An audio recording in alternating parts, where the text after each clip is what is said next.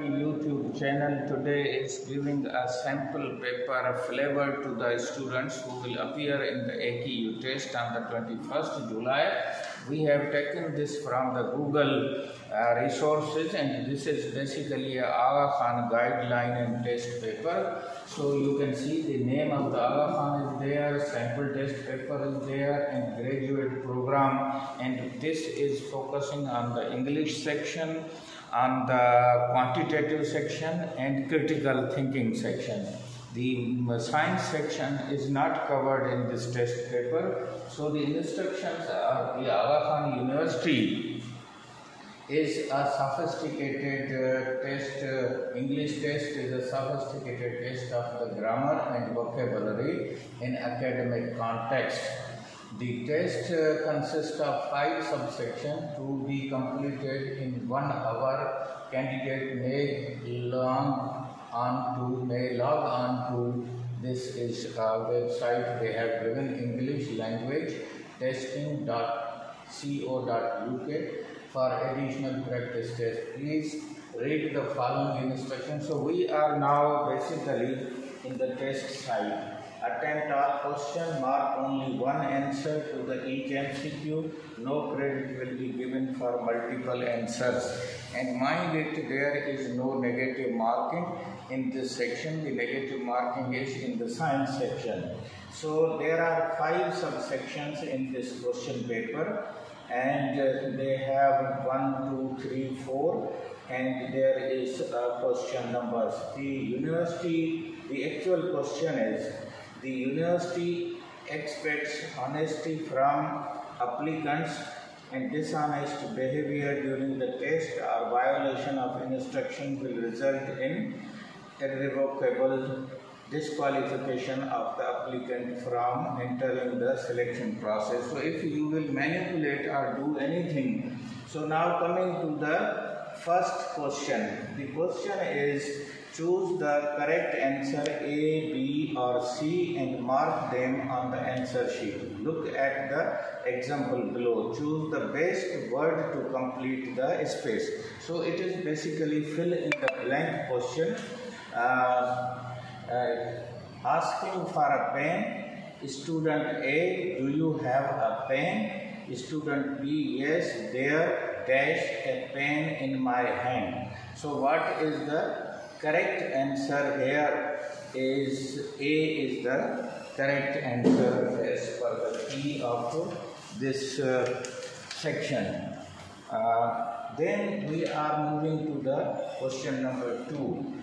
Uh, question number 2 says that uh, in the university has very heavily in teaching and learning facilities dash to ensure that we offer modern high quality environment in which our students can live and study happily. So the space is costed invested spent is the first answer uh, is the invested the university has invested very heavily so invested is the correct fill in the blank in the second space it is the accommodation which is the best place and that will say that facilities and accommodation to ensure that we offer modern high quality environment.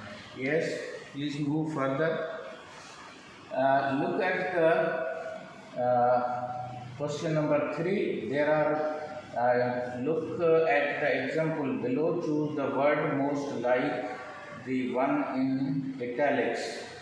In this example, the word is registered. When you arrive at the university, you will be registered at the faculty office. Which word is closest to the registered? It means synonymous. Closest means synonymous are the with having the same meaning. So from the option B is registered is closest to the recorded.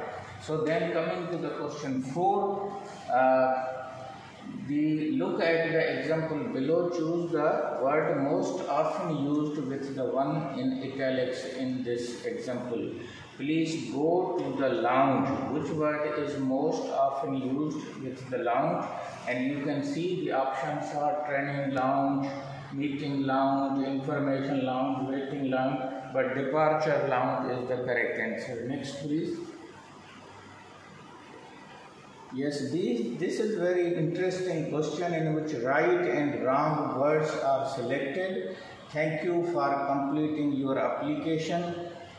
Is it right or wrong? Before you submit your form, remember to keep a copy for your record. Is it right or wrong? The answer is it is right. In the same way, thank you for completing your application for the university before and submitting your forms. Remember to remain a copy for you. Instead of keeping the word remain is used. That is wrong. And the same is in the third. Thank you for completing your application for the uh, university. Before you submit your forms remember to save so remember is correct thank you for completing your application for university of new Bury, before you submit your forms, remember to make a copy for your record. That is also right. Next. Uh, these are further, you can see quantitative reasoning here. Mostly the mathematics is given. Yes, please. University accept honesty. The same thing is there and here they have given the table that what will be the sequence of the questions.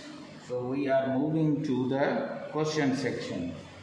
So arithmetic 30%, information handling 40% and logical reasoning application. We will touch it later on. We have done the English side and now we are going to the quantitative reasoning so the question 1 is which of the following quantities is the largest and you can see that the C is the option. Question 2 says that which one is equal. So the option A is correct option and here you can see 5 9 upon 80.